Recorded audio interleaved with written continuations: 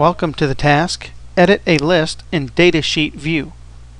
In order to accomplish this task, I will start Internet Explorer and navigate to the SharePoint list that I would like to edit. Once I'm on the SharePoint list page, I'll open the Actions menu and select the Edit in Datasheet option. Please note that this datasheet view will only work if you're using Internet Explorer and have Microsoft Office installed on your local machine.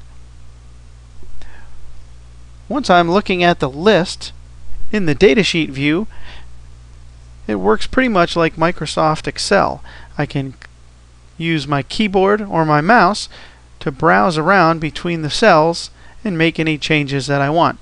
In this particular case, I'm going to go ahead and enter in the Q4 information to change our 2008 totals.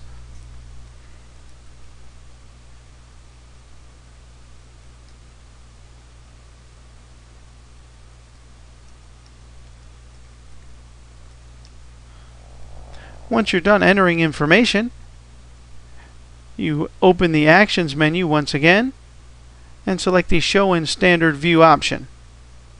And now the list is displayed in the standard view with the changes that you made in the datasheet view reflected in the list. This concludes the task Edit a list in Datasheet View.